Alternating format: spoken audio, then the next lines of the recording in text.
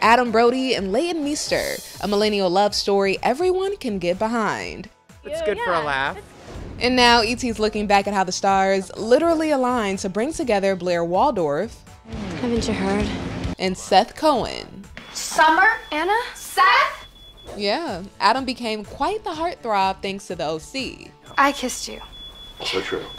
I always knew you were a late bloomer, sweetie. Thanks, Mom. When the series signed off in 2007, creator Josh Schwartz left the beach and turned to the Big Apple with Gossip Girl. I was very attracted to her from jump. She's a heavenly creature. Which is right around the time Adam and Leighton first crossed paths literally the first time we met, that whole cast was eating at Canter's and I was leaving and he introduced all of us and then bumped into her like two or three times over the next couple years, but I had no idea whether she was a good person or not. And in fact, kind of assumed she probably wasn't for like, you know, the first handful of years that I didn't know her just because, I don't know, Gossip Girl. Well, fast forward to 2012, Adam and Leighton co-starred in The Oranges, sharing the screen again soon after in Life Partners.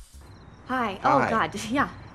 How are you? Mm-hmm. Meanwhile, the two were becoming more than colleagues and made it red carpet official in 2013.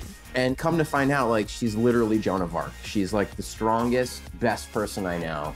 She's my moral compass and North Star, and I just can't say enough good things about her character. Yep, the romance took a while to cook, but they made up for lost time. In a year after they first sparked dating rumors, the couple tied the knot. I'm quite happy with my life and I don't mess with it. And ever since, Leighton and Adam have opted to keep their private lives, well, private, especially after their family got a little bigger.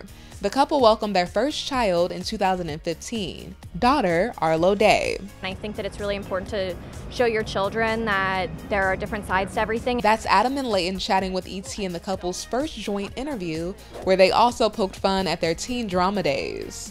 Once Not- a not in year. the Once a same way year, we have a do. Seth and Blair day. Yeah, And we exactly. dress up. It doesn't excite us, I think, because we're just human beings, and I don't know, but I mean, it's exciting to us. good and for a exciting laugh. It's you. good for a laugh. It's cool. And the stars even reunited on screen for Leighton's sitcom, Single Parents. I am the captain of the ship, and before you meet the only important passenger on board, I need to know you understand the rules. Aye, aye, Captain. No, the ship stuff is only for me. And the family is still growing. In 2020, the parents celebrated the arrival of their second child, a son whose name they have yet to share.